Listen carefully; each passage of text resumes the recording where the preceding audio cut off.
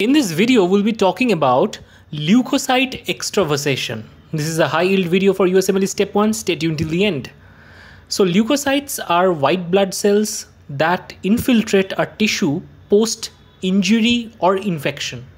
So during inflammation, imagine a rusty nail has bring in so, so a lot of bacteria in the wound site. Now leukocytes like neutrophil would immediately try to go to that location and then engulf the bacteria. So this is known as phagocytosis. Then neutrophil would secrete alarming molecule which are basically cytokines which can change the property of the blood vessel and allow more neutrophils to come in. And this process is known as neutrophil extravasation or leukocyte extravasation. Though this process looks fairly simple, but this particular process has several molecular aspects to it which we have to learn and we have to also learn how does that go wrong in terms of disease. Now this process is really important for inflammation and wound healing. So neutrophils generally roll very rapidly throughout the blood vessel when there is no inflammation.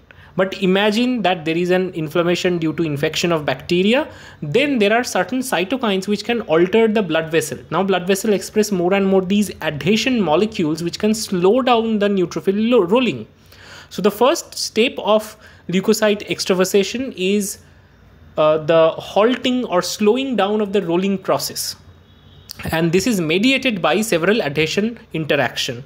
One of them is glycam-1 which is present in the blood vessel capillary endothelial cells. There are E-selectin, P-selectin, all of these are adhesion molecules present on the blood vessels or the endothelial cells. Then L-selectin, Sialyl-Lewis X or SLX, all of these proteins are actually present on the surface of the neutrophil.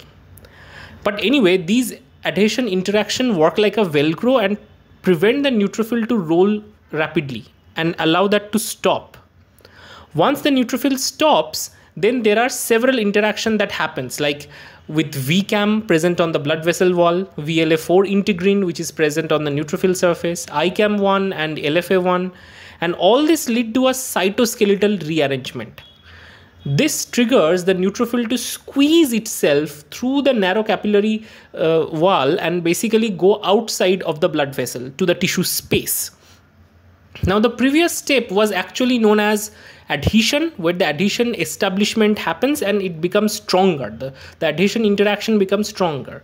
And after the stronger adhesion, the neutrophil is uh, getting that kick or the trigger to change the cytoskeleton.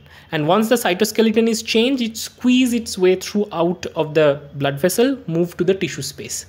And now extravasation is complete. And now the neutrophil would be guided to the injury or wound site with the help of several chemotactic factors such as complement factors maybe interleukins leukotrienes etc now the neutrophil would go and ultimately chase the bacteria and ultimately they would engulf it. After engulfing the bacteria, neutrophil use a process called respiratory burst on which we have different video, but thereby they kill the pathogen and eliminate uh, these pathogens and uh, help in wound uh, healing. Now what happens is basically there are disease where the molecules which are re required for the neutrophil to roll slowly or establish adhesion is faulty so there are mutation in SLEX1 gene or CD18 integrin gene which lead to leukocyte adhesion deficiency disorder. In this case, the surface adhesion molecules of the neutrophil are not produced. As a result, what happens is even if there is infection, neutrophil cannot really roll slowly, adhere to the endothelial cells and cannot go to the site of injury. So that means these patients would be more and more susceptible towards bacterial infection or the wound healing process in these individuals would be ultra slow. On a different video, we would cover this aspect. But anyway, I hope this video was useful. If you like this video, give it a quick thumbs up. Don't forget to like, share and subscribe. See you in the next video.